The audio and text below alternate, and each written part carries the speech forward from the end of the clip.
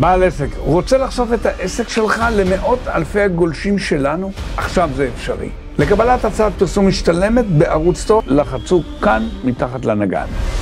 כל שקרי האקדמיה, אני אשמח שתפרט לי עליו.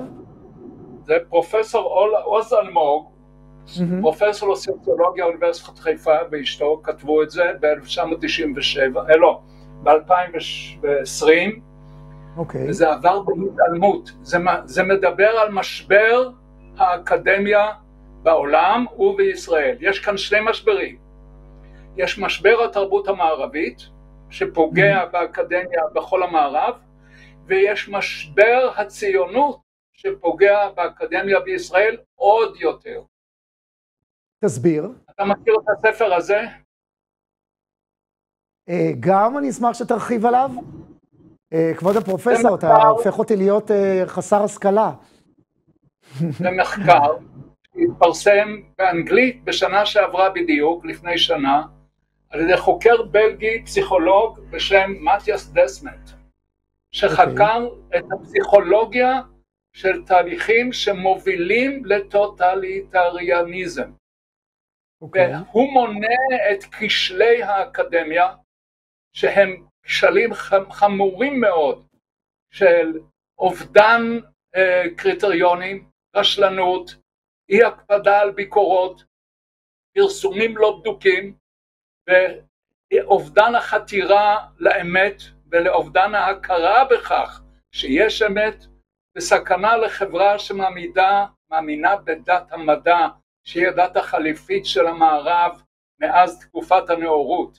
אבל אתה יודע, אתה יודע, אלישע, יש הבדל מאוד גדול בין אה, אה, האקדמיה שטוענת שאין אמת, לבין מה שאומר יואב קיש, שר החינוך, סתימת פיות.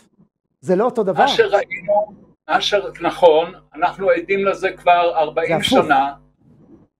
אנחנו, לא, לא, יש, הם לא מתייחסים לאמת, לכן סותמים פיות. בבית המדרש תמיד היו פתוחים לשמוע כל דבר. באקדמיה היום, בגלל המשבר, בגלל חוסר הביטחון ובגלל חוסר הייעוד והבלבול, סותמים פיות.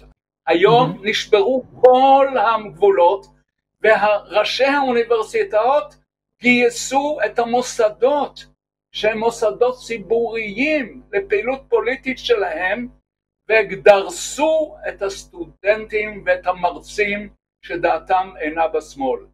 תשמע, אני, יודעים... אני יושב פה כמראיין אובייקטיבי, אבל uh, אני חייב לשתף אותך, אתה פרופסור בבר אילן, אני השנה עשיתי את התואר השני שאני התחלתי בספרות משווה בבר אילן, ועזבתי את התואר השני באמצע השנה בטריקת דלת, בגלל שהאוניברסיטה השביתה אותי והשתמשה בי ככלי לחץ על הממשלה כדי שתבטל את הרפורמה המשפטית. ואני אמרתי להם, לא יכול להיות שאתם כאוניברסיטה, שאני לומד שם, באוניברסיטת בר אילן, אני לא מדבר איתך על אוניברסיטת תל אביב, אוניברסיטת בר אילן, לא יכול להיות שאתם תשתמשו בי.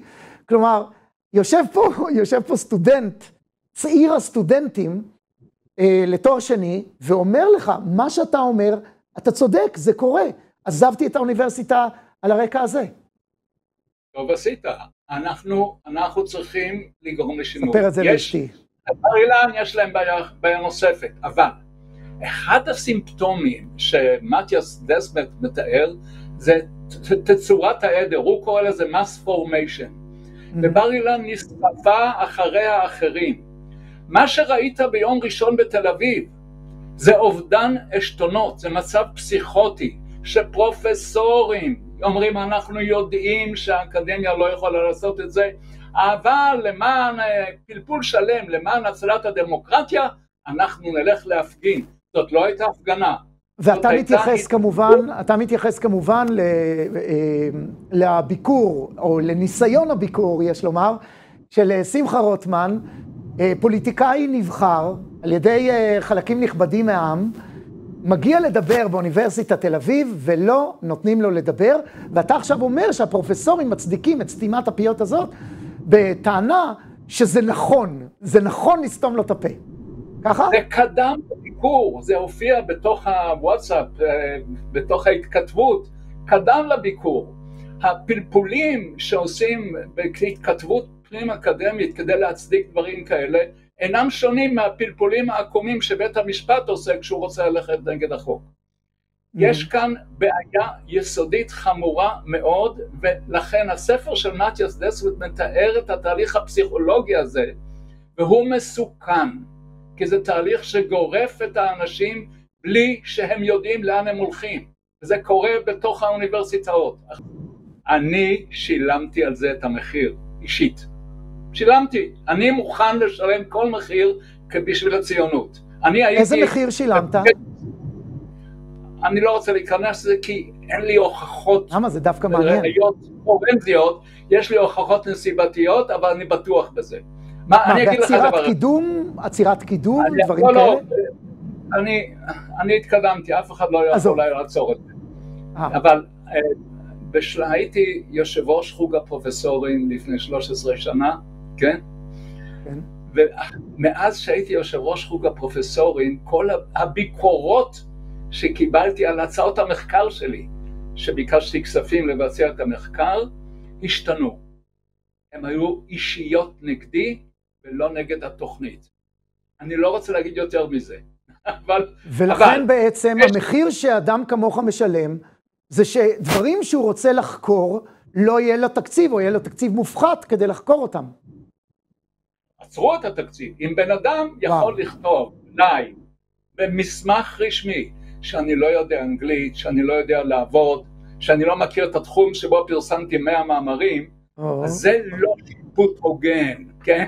עכשיו גיליתי לך סודות, כן?